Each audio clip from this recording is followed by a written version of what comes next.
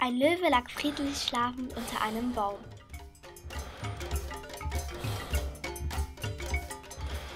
Plötzlich lief eine Maus über ihn. Er erwachte davon und ergriff sie mit seinen gewaltigen Tatzen. Die Maus flehte. Verzeih mir, ich wollte dich nicht stören. Bitte lass mich laufen. Wenn du mir das Leben schenkst, werde ich mich dankbar erweisen. Da der Löwe noch satt war von seiner letzten Mahlzeit und einfach nur seine Ruhe haben wollte, ließ er sie frei.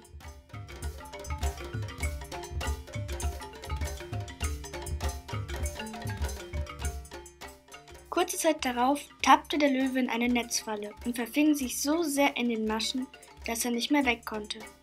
Resigniert lag er da und jammerte vor sich hin. Oh Hilfe, bitte hilft mir doch. Das hörte die Maus und kam angelaufen. Ich helfe dir, sagte sie und zernagte so lange die Knoten des Netzes, bis der Löwe sich befreien konnte. Danke, danke, liebe Maus.